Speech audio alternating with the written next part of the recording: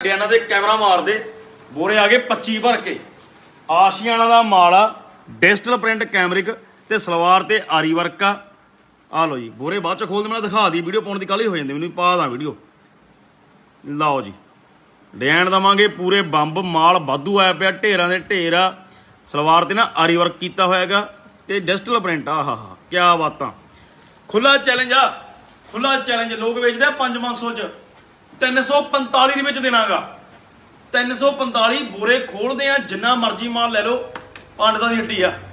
ਲੁੱਟ ਹੋਣ ਨਹੀਂ ਦੇਣੀ ਕੱਪੜੇ ਦੇ ਵਿੱਚ, ਸਾਰੀ ਲੁੱਟ ਖਤਮ ਕਰਨੀ ਆ। ਲਓ ਜੀ, ਇੱਕ ਆਹ ਮਾਲ ਖੁੱਲਿਆ ਰੇਨੂਕਾ ਬ੍ਰਾਂਡ ਦਾ।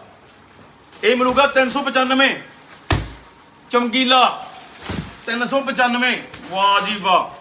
ਇਹਦੀ ਸਲਵਾਰ ਤੇ ਪ੍ਰਿੰਟ ਆ ਤੇ ਆਸ਼ੀਆਨਾ ਦੀ ਆਊਗੀ ਕਢਾਈ। ਉਹ ਮਿਲੂਗਾ 345 ਇਹ ਮਿਲੂਗਾ 395 ਦੋਵੇਂ ਮਾਲ ਬੋਰਿਆਂ ਦੇ ਬੋਰੇ ਭਰ ਕੇ ਆ ਚੁੱਕਿਆ ਹੁਣੀ ਬੋਰੇ ਖੋਲ ਕੇ ਦੁਬਾਰਾ ਵੀਡੀਓ ਪਾਵਾਂਗੇ।